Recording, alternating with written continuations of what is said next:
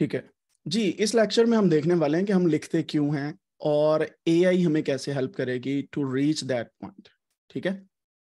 लिखते हम क्यों हैं चीज़ों को कम्युनिकेट करने के लिए। पिछली पूरी तमहीद बांधने का मकसद ये था आपको बताना कि राइटिंग क्यों ज़रूरी है, क्यों हमें साइंटिफिक राइटिंग करनी चाहिए। और ऑन टॉप ऑफ़ दैट आज के वर्कशॉप में मैं आपको ये भी बताऊँगा कि आपने अपने टाइम को मैनेज कैसे करना है। When you start writing something और कौन सी चीज़ें जिनको मेंटेन करके रखना है? And there are many tools जो आपको फोकस रखते हैं। ठीक है? लेकिन अभी इस लेक्चर में जो हम चीज़ देखने वाले हैं that is why do we write हम लिखते क्यों हैं? वजह क्या है? अगर आप गौर करें तो पहला मेन एम होता है to tell a company हैंसेबल story with a clear message ऐसा ही है ना? आप कोई रिसर्च कर रहे हैं आप उसकी स्टोरी लाइन बनाते हैं कि यार मैंने फलान जगह से सैंपल्स लिए सैंपल्स लेने के बाद मैंने ये सेमीकंडक्टर तैयार किया। उसका फ़ायदा ये हो रहा है कि वो दुनिया के अंदर एक नई चेंज ला सकता है। फॉर एग्ज़ाम्पल एक लिथियम बैटरी मैंने बनाई है जो ज़्यादा जल्दी स्टोर करती है पावर को और ज़्यादा देर तक चलती है, ठीक है? फिर फॉर एग्ज़ाम्पल आप कह सकते हैं मैंने हाइपर लूप जो एलन मस्क ने बनाई हुई है हाइपर लूप के जो आपको पता है वो ट्रेन टाइप है हाइपर लूप उसे बोला जाता है। तो उसके मुताबिक रखती हुई मैंने कोई एक नया, कह लेंगे सॉफ्टवेयर डिज़ाइन किया which can reduce the energy consumption so आप एक स्टोरी ही बताते हैं ना राइटिंग के अंदर कंप्रीहेंसिबल जो लोगों को समझ आए विद अ क्लियर मैसेज अगर आप एक स्टोरी को डिज़ाइन ना कर सके, और ये क्लियर मैसेज अवेलेबल ना हो तो ये दोनों चीज़ें ही खराब हो जाती हैं। साइंटिफिक राइटिंग आपकी, उसका एम ही नहीं पूरा होता, ठीक है? तो ये दो चीज़ें कैसे ग्रैप की जाती है, उसके बारे में थोड़ी सी डिस्कशन करते हैं। ऑब्वियसली ये आज का टॉपिक हमारा ये नहीं है कि साइंटिफिक राइटिंग कैसे की जाती है शुरू से एंड तक, लेकिन मैं कुछ चीज़ें आपको ज़रूर बताऊँगा to increase your efficiency in writing ठीक है? सबसे पहली चीज़, ये जो लोग मुश्किल अल्फाज का चुनाव करते हैं ना, बहुत गलत करते हो आप लोग। आपको नहीं पता वेस्टर्न कंट्रीज़ के अंदर इंग्लिश फ़र्स्ट लैंग्वेज नहीं है और वो बेचारे गूगल करते हैं बैठ के काफ़ी चीज़ें, ठीक है? हमें तो चलो फिर भी इंग्लिश आती है एज ए पाकिस्तानी अगर कोई इंडियन है, उसको भी आती होगी बंगाली को भी। लेकिन यहाँ पे इनकी फ़र्स्ट लैंग्वेज नहीं है और ये ज़्यादा पढ़ते भी नहीं है इन चीज़ों को। मतलब इंग्लिश के ऊपर ज़्यादा फोकस नहीं करते। और सबसे बड़ी बात चाइना जो इस वक्त रिसर्च में आगे जा रहा है, उनकी इंग्लिश फ़र्स्ट लैंग्वेज नहीं है। तो अगर चाइना बहुत ज़्यादा पेपर पब्लिश कर रहा है, और आप चाहते हैं आप हाईली साइटेड रिसर्चर हो तो गेम क्या खेलनी है हमने? हमने इंग्लिश को सिंपल करना है, ताकि उनको समझ आ जाए, ठीक है? Simplicity is the key to get more citation simple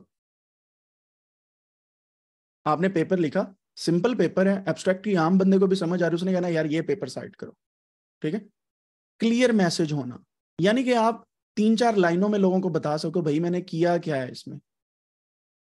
तो थ्री इडियट मूवी देखी थी ना मशीन की डेफिनेशन वाली बात, याद है? समझ रहे हैं बात को?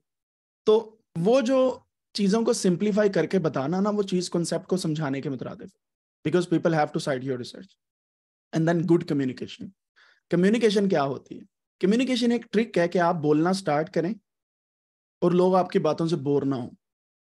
वो आपको और सुनना चाहें।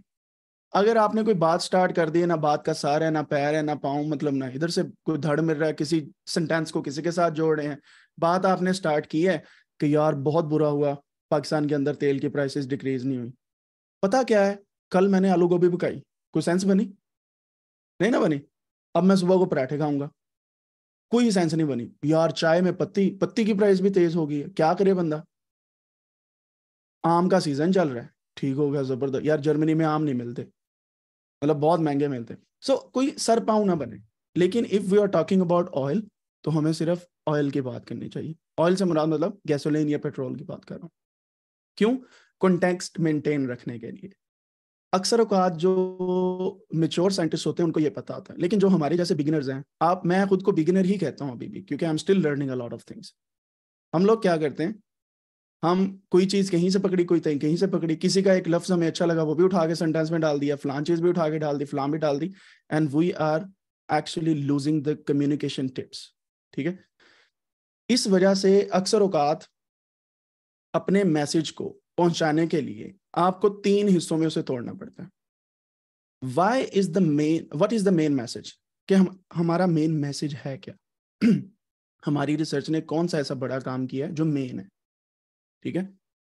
दूसरा, आपको पता होना ज़रूरी है कि मैं ये क्यों बता रहा हूँ? क्या ख्याल है? अगर आपको नहीं पता होगा तो रीडर को क्या पता चलेगा? तीसरी चीज़, मैंने ये मैसेज को कैसे भेजना है? ऑब्वियसली लिख के भेजना है, क्योंकि साइंटिफिक राइटिंग की बात हो रही है। लेकिन कैसे, किस तरीके से मैं स्टोरी स्टार्ट करूँ कि मेरा मैसेज आगे पहुँच जाए? मिसाल के तौर पे, आपको एक मैं बात बताता हूँ। आपका पेपर पब्लिश नहीं हुआ, लेकिन आपने कोई रिसर्च की है। इज़ इट पॉसिबल कि आप जाके मस्जिद में ऐलान करवाते फिरें कि फॉर एग्जांपल जी, हमारे अब्दुल कदूस भाई ने एक रिसर्च पेपर आर्टिकल लिख लिया है पब्लिश नहीं किया अभी, लेकिन इसमें ये ये ये काम किया। ऐसा पॉसिबल नहीं है ना कि आप ऐलानात करवाते फिरें, या सुबह को स्कूल में जाके लोगों के असेंबली में बताते फिरें। ऐसा पॉसिबल नहीं है ना। Then you have to do something which is relatable वो क्या चीज़ है? आपने अपने मैसेज को क्रॉस करने के लिए राइटिंग एक टूल है। तो राइटिंग एक अगर टूल है, इसको समझना भी तो ज़रूरी है ना कि राइटिंग किस तरीके से करनी ठीक है? अब अगर ये तीन चीज़ें जो मैंने आपको बताई simplicity clarity and good communication ये कम्युनिकेशन के तीन पार्ट्स के अंदर ये तीनों चीज़ें होनी चाहिए। ठीक है? सिंप्लिसिटी का मतलब ये आपने बताना। सेकंड क्लैरिटी आपका क्लियर मैसेज आए। और ये क्लैरिटी जो है, ये बहुत ज़्यादा मैटर करती है। बहुत ही ज़्यादा। अब इसको कुछ मैं डिफरेंट हिस्सों में तोड़ के आपको बताता हूँ कि क्लैरिटी हमें कैसे हेल्प आउट करती है। And I am going to show you a Twitter trend जो साइंटिफिक कम्युनिटी में चला था और लोग हंस हंस के पागल होने वाले हो गए थे। ऑब्वियसली ये वो पाकिस्तानी फैसलाबादी जोक नहीं है। थोड़े से वो कहते हैं ना मेच्योर कम्युनिटी के जो टॉप एलिट्स हैं साइंटिस्ट हैं, उनके जोक्स हैं we will see that as well हमें अगर राइटिंग सीखनी है तो हमें पता होना चाहिए बिल्डिंग ब्लॉक्स क्या है राइटिंग के। राइट पहली चीज़ है वर्ड वर्ड मतलब कि आपके इल्फाज। जाहरी बात है, आपने अगर किसी का सर, किसी का पाँव, किसी का हाथ जोड़ा तो वो डिफरेंट चीज़ बनेगी। सो यू शुड नो के चॉइस ऑफ़ वर्ड कैसे होनी चाहिए। ठीक है? फिर second thing is sentence structure that matters a lot और एआई टूल्स हमें इन चीज़ों पे बातें बताते हैं but we have to choose के इन चीज़ों को कैसे मेंटेन करना है। Third one is paragraph structure ठीक है? अब बारी बारी ये तीनों मेन जो बिल्डिंग ब्लॉक्स हैं अगर आपको इनके बारे में इंफॉर्मेशन मिलगी तो आपकी साइंटिफिक राइटिंग या आपका कंटेंट राइटिंग या आपके ट्विटर्स या आपके ईमेल्स तकरीबन 75 परसेंट करेक्ट वे में स्टार्ट होना शुरू हो जाएँगे। मतलब करेक्ट वे में चले जाएँगे। Let's look into these together word choice के कुछ प्रिंसिपल्स हैं। पहला ये है कि वर्ड्स शुड बी प्रिसाइज ठीक है? सेकेंड वन इज़ सिंपल होने चाहिए। Third one is only necessary words डालने हैं। फजूल अल्फाजात अल्फाजों को अल्फाजों को हाँ फजूल वर्ड्स को आपने ओमिट कर देना। ये रूल्स अगर आप, ये तीन रूल्स हैं बेसिकली तीसरे को ही उल्ट करके ओमिट नीडलेस वर्ड्स बोला गया। अगर आप ये काम कर लें तो आपकी राइटिंग में निखार आ जाएगा, ठीक है? प्रिसाइज का मतलब ये है कि अगर एक ही बात को पाँच सात लाइनों में लिखना है, आप उसको प्रिसाइजली लिख देना एक आधी लाइन में। समझ रहे हैं बात को? उसको कहते हैं प्रिसाइज सिंपल का मतलब सिंपल वर्ड्स होने चाहिए। मतलब कोई भी ग्रामेटिकली वोकेबलरी ना किसी को ओपन करनी पड़े डिक्शनरी तो वो वो, वो वाले वर्ड्स ना हो। देन हमारे पास अगली चीज़ आपको मैं दिखाता हूँ। इसकी एग्ज़ाम्पल मैंने सोशल मीडिया से ली है। इस बंदे ने एक ट्वीट किया how would you rewrite he was born in 1991 अब अगली बात देखिएगा। टू अवॉइड प्लेजरिज्म यहाँ पे आपको प्लेजरिज्म भी समझ आ जाएगा कि कैसे उसको रिफ्रेस किया जाता है और कैसे वो लिखा जाता है। And he said that I want to see how ridiculous we can get lots of laughs अब आप इसका क्या सेंटेंस बना सकते हैं? ही वॉज़ बोर्न इन 1991 बात भी समझ आ जाए और सेम सेंटेंस भी ना रहे। प्रिसाइज और बाकी वर्ड चॉइस भी उसकी सिंपल हो। जी। चैट में बता सकते हैं आप लोग? क्या आप इस सेंटेंस को किस तरीके से लिखेंगे? इससे पता चल जाएगा कि आप सेंटेंस कैसे स्टार्ट करते हैं, चीज़ें किस तरह मेंटेन करते हैं। और एआई कैसे चीज़ों को देखती है, आपको इसी से समझ आ जाएगी।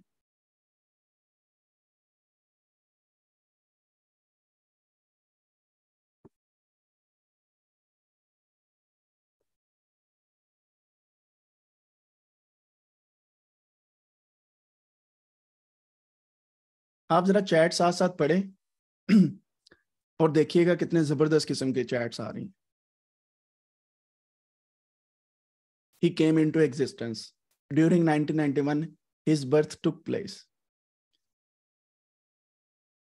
in nineteen ninety one he was born his birth year is nineteen ninety one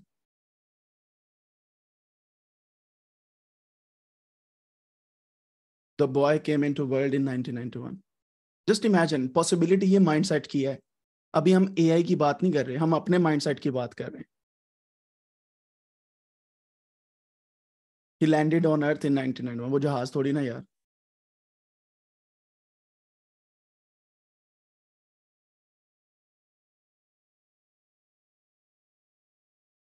चले, आपको मैं दूसरों के दिखाता हूँ।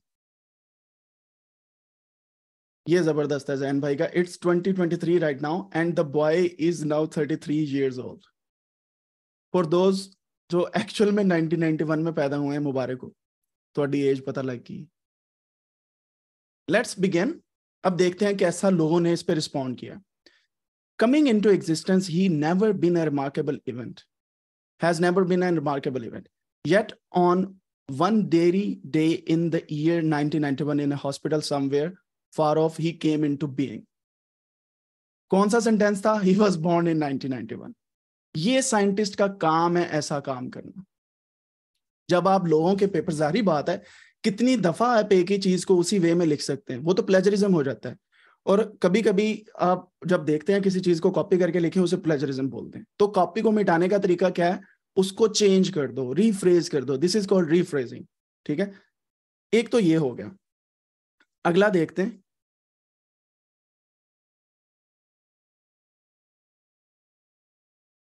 इसको पढ़ें जरा।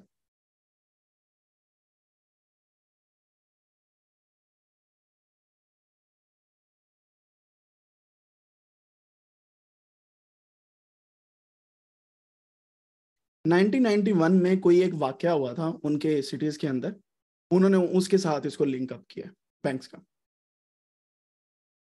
तो एक वर्ड के ऊपर आप सारा कुछ लिख रहे हैं। एक एक वर्ड के ऊपर। बेसिकली बर्थ है एंड 1991 में ये दो कीवर्ड्स है ना आपके पास? ऐसे ही है। दो की वर्ड्स पे पूरी की पूरी स्टोरी लिखी जा रही है। इसी को अगर रिवर्स इंजीनियरिंग में कर लिया जाए, आपके पास पूरा आर्टिकल है। उसको कीवर्ड्स के अंदर अगर हमने लिखना हो, और वो की कीवर्ड्स जब हमारे पास आ जाएँ हम उन कीवर्ड्स को राइट डाउन करें गूगल स्कॉलर में या बड़े बड़े सर्च इंजन में जहाँ पे दुनिया के सारे आर्टिकल्स पड़े हुए हैं। उस तरीके से हम पेपर्स को रिसर्च सर्च करते हैं, ठीक है? और मैं आपको आज दिखाने भी वाला हूँ कि कीवर्ड इस वजह से इंपॉर्टेंट होते हैं। ये तो होगी बात बाय द वे यहाँ पे बिल्डिंग ब्लॉक्स थे हमारे word choice sentence structure and paragraph structure हमने देख लिया जनाब प्रिंसिपल ऑफ़ वर्ड्स तीन। उसके बाद हमने एग्ज़ाम जो चूज़ वर्ड हमने किया, वो देख लिए। अब हम दूसरी बात देखते हैं sentence structure right short sentences don't string ideas together ये नहीं करना कि एक आइडिया पकड़ा है उसके साथ ही दूसरा जोड़ते जाए। नहीं, ऐसा ना करें। सेंटेंस स्ट्रक्चर को इस तरीके से मेंटेन करें कि एक आइडिया एक दफ़ा बताएँ, दूसरा आइडिया दूसरी दफ़ा, तीसरा आइडिया तीसरी दफ़ा, चौथा, चौथी दफ़ा, पांचवा, पांचवी दफ़ा। एंड का यूज़ बहुत कम करें। करें ज़रूर, जब मिलती जुलती चीज़ें हों। लेकिन हर वक्त एंड एंड एंड ना लिखते जाएँ। One thing at a time तो ये सेंटेंस स्ट्रक्चर को डिफाइन करती है। बाय द वे अगर आप में से किसी को नहीं पता कि सेंटेंस स्ट्रक्चर कितनी टाइप की होती है so here you go simple compound and complex sentences for example simple sentence है शी स्माइल्ड वो हँसी। ठीक है? फिर कंपाउंड सेंटेंस क्या है? She smiled and she laughed ठीक है? वो हंस, वो उसने स्माइल वो मुस्कुराई सॉरी एंड वो फिर खुलखिला के हँसी लाफ्ट मैंने जानबूझ के खिलखिला लगाया बीच so then complex sentence she smiles when she is happy so हमारे पास इस तरीके से तीन किस्म के सेंटेंस स्ट्रक्चर होते हैं। ये बिल्कुल बेसिक इंग्लिश है। ट्रिक ये है कि आप एक पैराग्राफ में तीनों का कॉम्बिनेशन यूज़ करें। कभी सिंपल सेंटेंस कभी कंपाउंड कभी complex don't always use simple sentences. Don't always use compound sentence. Don't always use some complex sentence. ठीक है? और रेशो इनकी रखें आप। अगर सिंपल सेंटेंस एक दो लिख दिया so that's enough don't exaggerate with simple sentences फिर कंपाउंड की तरफ़ जाएँ, फिर कम्प्लेक्स की तरफ़। तो इस तरह आप सेंटेंस स्ट्रक्चर को बनाते हैं। Then we go towards the paragraph structure आप क्या करें? ऑर्गेनाइज करें अपने आइडियाज़ को। फिर आइडिया को कंटिन्यू करें। एंड देन एम्फोसाइज करें इंपॉर्टेंट आइडियाज़ के ऊपर विद इन दैट आइडिया इस तरीके से आप अपना पैराग्राफ स्ट्रक्चर करते हैं। लेट्स लुक इट टुगेदर आप किस तरीके से अपना आइडिया को ऑर्गेनाइज करेंगे? आइडिया इस तरीके से आपके पैराग्राफ में ऑर्गेनाइज होना चाहिए। बर्गर तो खाया है ना आपने? जिंगर बर्गर हो या कोई भी वेगन बर्गर हो या कोई भी चीज़ वाला बर्गर हो। या अंडे वाला बर्गर हो तो बर्गर बंदा खाता है, ठीक है? या आप, आपने बचपन में कभी कभी खाया होगा। तो टॉपिक सेंटेंस का मतलब है कि जहाँ से आपने स्टार्ट करना है ना दैट शुड से कि ये पूरा पैराग्राफ किस बारे में है? ठीक है? स्पोर्टिंग सेंटेंस का मतलब है कि उसी पूरे जिस बारे में पैराग्राफ है, उसको कंटिन्यू करो। दलाइल दो उसके बारे में, कि ऐसा क्यों है? देन कंक्लूडिंग सेंटेंस ये है कि उस पूरे पैराग्राफ का एक समरी बताओ उसकी कि हुआ क्या है इस पूरे पैराग्राफ के अंदर? This is how you organize the idea for your paragraph. ठीक है? इसकी मिसाल मैं आपको दिखाता हूँ। जरा गौर कीजिएगा मिसाल के ऊपर। ये आ, यहाँ से मैंने ये एक पैराग्राफ लिया है स्लाइड शेयर वालों से। Canada is one of the best countries in the world ये हो गया आपका टॉपिक सेंटेंस मैं यहाँ पे आपको एनोटेट करके दिखाता हूँ। और ये यही स्ट्रेटेजी हमारे पास ए लगाती है ठीक है? हम अब समझ रहे हैं कि एआई कैसे हमारे कीवर्ड्स की बेस पे पैराग्राफ बनाती है। Canada is one of the best countries in the world ये हो गया आपका topic sentence then First, Canada has an excellent healthcare system. All Canadians have access to medical services at reasonable price. Second, Canada has a high standard of education. Students are taught by well-trained teachers and are encouraged to continue studying at the university. Finally, Canada cities are Canada's cities are clean and efficiently managed, and they have many parks and a lot of space for people to live. यहां तक क्या है जी ये यहां से यहां तक green वाला sporting sentences then comes as a result Canada is a desirable place to live. ठीक है? ये एंड वाला concluding sentence this is how you should actually arrange your paragraphs ज़रूरी नहीं है कि इसी फ़र्स्ट सेकंड थर्ड वाली आपने थ्योरी को अपनाना है। स्पोर्टिंग सेंटेंस किसी भी किस्म के हो सकते हैं। लेकिन एक पैराग्राफ में एक आइडिया आए। इस पैराग्राफ का मेन आइडिया क्या है? कोई बता सकते हैं? इसके कीवर्ड्स क्या होंगे? तीन कीवर्ड्स इसके, इस पैराग्राफ के।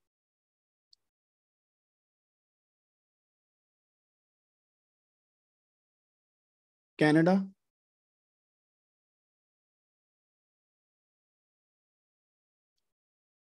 quality of life is a nice keyword.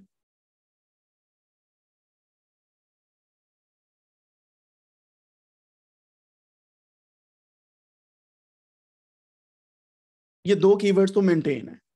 अगर मैं इस पूरे सेंटेंस को एक क्वेश्चन में कन्वर्ट करना चाहूँ तो मैं क्या करूँगा?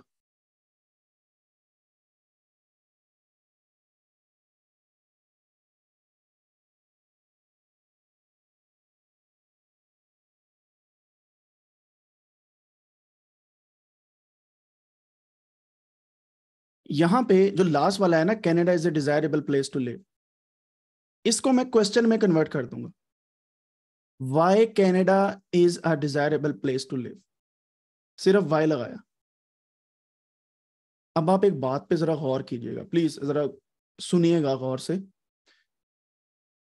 असल में ये जिसने ये पैराग्राफ लिखा है, उसने खुद से क्वेश्चन यही पूछा था कि why Canada is a desirable place to live और आप हर पैराग्राफ में एक साइंटिफिक राइटर खुद से क्वेश्चन पूछ के बताता है कि मैं क्या कहना चाह रहा हूँ, क्यों कहना चाह रहा हूँ और कैसे कहना चाह रहा हूँ। याद है वो तीन क्वेश्चन जो मैंने आपको बताए थे पहले? एम के। आप देखें, यहाँ पे वो कवर हो रहे हैं। तो अगर इस स्टाइल में आप राइटिंग करना स्टार्ट करेंगे चीज़ों को तो आपको समझ आ जाएगी कि कैसे चल रहा है। अगर आप यही चीज़ एआई को देंगे ना एआई को सारे के सारे रूल्स का पता है। एआई को पता है कौन सी टोन कैसे रखनी है, आप वो भी डिफाइन कर सकते हैं।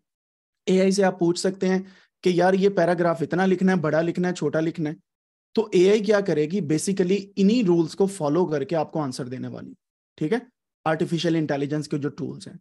तो आज जो हमारे आर्टिफिशियल इंटेलिजेंस के टूल्स हैं ना, वो बेसिकली इसी वे में आपको आंसर देते हैं। हमें थ्योरी समझनी है कि एआई वर्क कैसे करती है। Either you can give the keywords वो उसकी बेस पे भी काम करेगा या जितना भी काम हुआ पड़ा उसको आपके सामने लाएगा, या आप एक क्वेश्चन बना दें वाई के साथ? तो वो उसका आंसर देते, ठीक है? फिर आप डिफाइन कर सकते हैं टॉन के इसको फॉर्मल रखना है इनफॉर्मल रखना है हैप्पी रखना है सैड रखना है कैसे, ठीक है? अगर आप सैड टोन रखेंगे, हो सकता है वो कैनेडा जो में जो रिसेंट वाक्यात हुए हैं, उनको डिफाइन करना स्टार्ट कर दे, ठीक है? अगर आप कहेंगे why Canada is not a desirable place to live तो उसने पूरा नेगेटिव वे में इस सेंटेंस को, पूरे पैराग्राफ को बता देना है। So there are some sentiments alongside the paragraph तो ये ये बेसिक थ्योरी होती है कि पैराग्राफ स्ट्रक्चर बनाने की और सेंटेंस स्ट्रक्चर भी इस तरीके से बनती है सिंपल कंपाउंड या कम्प्लेक्स की बेस पे। लेट्स मूव अहेड हम आइडियाज़ को कंटिन्यू करते हैं और हम क्या करते हैं की टर्म्स को बार बार रिपीट करते हैं। अगर आपने गौर किया हो उस पैराग्राफ के अंदर की टर्म्स रिपीट हो रही थी। Canada Canada Canada Canada Canada life life life life life ठीक है? फिर ट्रांजिशन वर्ड्स यूज़ हुए ट्रांजिशन वर्ड्स क्या होते हैं? एक सेंटेंस से दूसरे सेंटेंस में मूव करने के तरीकेकार। के अचानक जंप ना लगे अगले सेंटेंस में। एक स्मूथ ट्रांजिशन हो। ठीक है? एंड देन हमारे पास कंसिस्टेंट ऑर्डर होना चाहिए। कंसिस्टेंट पॉइंट ऑफ़ व्यू होना चाहिए। और parallel ideas in parallel form होने चाहिए, यानी कि कोमा वाला लिस्ट जो बनाते हैं आप, और फिर सब टॉपिक्स उसके पैराग्राफ के पता होने चाहिए। जारी बात है there is a lot of things जो हम जिस पे काम कर सकते हैं, लेकिन यहाँ पे मैं आपको ट्रांजिशन वर्ड्स कुछ बता देता हूँ। इन एडिशन हम यूज़ करते हैं फर्दर मोर यूज़ करते हैं थर्स यूज़ करते हैं firstly secondly finally thirdly something like that वो यूज़ करते हैं। Moreover in contrast for example for the same reason on the other hand इसके अलावा आप गूगल पे सर्च करेंगे ना तो आपको बेबहार ट्रांजिशन वर्ड्स नज़र आएँगे। ठीक है? लाइक like, एम्फोसिस करना है तो कौन से यूज़ करने हैं? एडिशन करनी है किसी चीज़ की तो कौन से यूज़ करने हैं? कंट्रास्ट करना है तो कौन से यूज़ करने हैं? ऑर्डर करना है तो कौन सा यूज़ करना है? तो एक दो वेबसाइट्स में आपको बता देता हूँ जहाँ से आप लेख सकते हैं। Grammar simple dot com. वहाँ पे इस तरह की काफ़ी इंफॉर्मेशन दी हुई है। वहाँ से ट्रांजेक्शन वर्ड्स और बाकी चीज़ें ले सकते हैं। And it actually beautifies and make precise your paragraphs ठीक है? फिर ये भी कुछ ट्रांजेक्शन वर्ड्स हैं। और आप ये मतलब गूगल इमेजेस पे जाके लिखेंगे then you can actually look into these transaction words ठीक है? अब हम एक सिक्स एड एग रूल की तरफ़ चलते हैं। ये मेरा अपना बनाया हुआ रूल है। किसी का नहीं है। सो so, मैं सिर्फ़ इसको इस वजह से top of the priority list रखता हूँ क्योंकि पैराग्राफ स्ट्रक्चर बहुत इंपॉर्टेंट होती है। एक ईमेल में एक पैराग्राफ होता है तो मैं कोशिश करता हूँ इन छह रूल्स को अपने पास रखू। इसका मकसद क्या है? कंसीडरिंग और कंडेंसिंग और ओमिटिंग लेस इंपॉर्टेंट इंफॉर्मेशन पहला अंडा ये कहता है कि कंडेंस कर दो इंफॉर्मेशन को यानी कि पाँच छह लाइनों वाली चीज़ को एक लाइन में या दो लाइनों में बता दो। या गैर ज़रूरी चीज़ें निकाल दो। सेकंड चीज़ है सबॉर्डिनेटिंग लेस इंपॉर्टेंट इंफॉर्मेशन यानी कि मोर इंपॉर्टेंट पहले लाओ लेस इंपॉर्टेंट बाद में। Third one is placing important information in a power position start में ही इंपॉर्टेंट इंफॉर्मेशन बता दो। देन लेबल करो इंपॉर्टेंट इंफॉर्मेशन को, कैसे उनके दलाइल दे दे के। रिपीट इंपॉर्टेंट इंफॉर्मेशन ताकि लोगों को याद हो जाए आप कहना क्या चाह रहे हो। रिपीट का मतलब ये नहीं कि सेम कॉपी चीज़ें पेस्ट करते जाए you have to repeat and then stating rather than implying important information तो ये छह चीज़ें हैं जो आपको अगर याद हो तो इसकी बेस पे आपका एम्फोसाइज ऑन इम्पोर्टेंट आइडियाज़ बहुत ज़बरदस्त तरीके से चल सकता है। And then you can be focused in right ठीक है? अब, ये जो चीज़ मैंने अभी आपको बताई है, यहाँ पे मेन इंपॉर्टेंट जो समरी अगर इसकी ली जाए तो हमारे पास तीन बिल्डिंग ब्लॉक्स हैं word choice sentence structure and paragraph structure इन तीनों पे डिपेंड करता है आपकी साइंटिफिक राइटिंग कैसी है, ठीक है? और फिर मैंने आपको बताया कि word should be precise word should be simple necessary words के बारे में हमने बात की, फिर हमने पैराग्राफ के बारे में बात की कि ऑर्गेनाइज करें आइडियाज़ को कंटिन्यूटी होनी चाहिए एम्फोसाइज इंपॉर्टेंट इन्फॉर्मेशन सेंटेंस तीन किस्म के मैंने वो भी आपको बताया. So these are the things which are important in when you are writing अच्छा अब एक बात याद रखें, जब आप राइट कर रहे हैं ना तो आपकी, आप जिम्मेदार हैं सोल रिस्पॉन्सिबल हैं कि आपकी इंफॉर्मेशन जो आपने राइट डाउन किया वो कैसे जा रही क्योंकि उसके साथ आपका नाम अटैच है। ऐसे ही है। आप ईमेल करते हैं, आपका नाम अटैच है। आप पेपर लिखते हैं, आपका नाम अटैच है। अक्सर औकात आपके नेम्स अटैच होते हैं, जब भी आप कोई साइंटिफिक राइटिंग की चीज़ लिख रहे होते हैं। अगर आप कोई गलत इंफॉर्मेशन देते हैं या ग्रामर गलत लिखते हैं तो लोगों ने क्या कहना है? कि आपको लिखने नहीं आता। या जिस साइंटिस्ट ने या जिस रिसर्चर ने लिखा उसको पता नहीं, ठीक है? अगर इंपॉर्टेंट इन्फॉर्मेशन को हाईलाइट नहीं करते तो लोग आपके पेपर को नहीं पढ़ेंगे। नहीं पढ़ेंगे तो इसका मतलब है वो आपको साइट नहीं करेंगे। साइट नहीं करेंगे तो आपका, आपकी रिसर्च दुनिया में ज़्यादा लोगों तक नहीं पहुंचेगी। इसका मतलब ये है कि अगर आप एआई के थ्रू भी चीज़ों को सीख रहे हैं, मैं बोला, क्यों रुकू? कुछ बंदे लिटरली सो रहे हैं। उठो भाई, लाहौर आ गया। हेलो